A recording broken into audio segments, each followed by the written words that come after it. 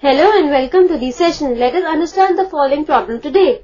If area of a triangle is 35 square units with vertices 2 comma minus 6, 5 comma 4 and k comma 4, then k is a 12, b minus 2, c minus 12 comma minus 2, d 12 comma minus 2. Now let us write the solution. Now area of the triangle with the given vertices is given by half 2 minus 6 1 5 4 1 k 4 1 which is equal to plus minus 35 which implies 2 minus 6 1 5 4 1 k 4 1 is equal to plus minus 70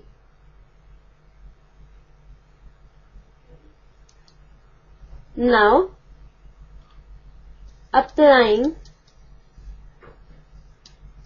R2 tends to R2 minus R3, we will get,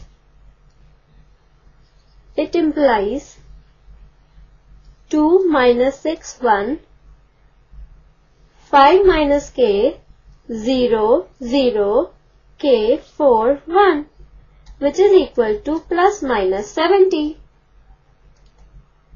which implies now minus of 5 minus k into minus 6 minus 4 which implies minus of 5 minus k into minus 10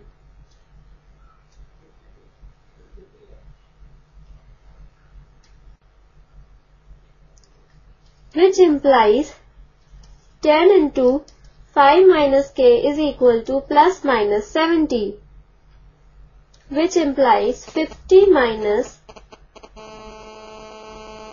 10k is equal to plus minus 70. Now we have two cases. Case 1 when 50 minus 10k is equal to plus 70, it implies 50 minus 70 is equal to 10k, which implies 10k is equal to minus 20, which implies k is equal to minus 2.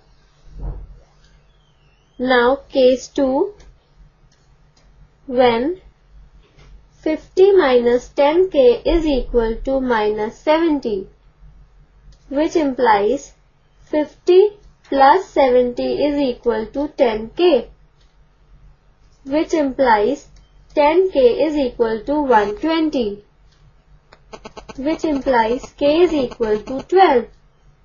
So, the two values of k are k is equal to 12 comma minus 2. Hence the required values of k are 12 comma minus 2. I hope you understood the problem.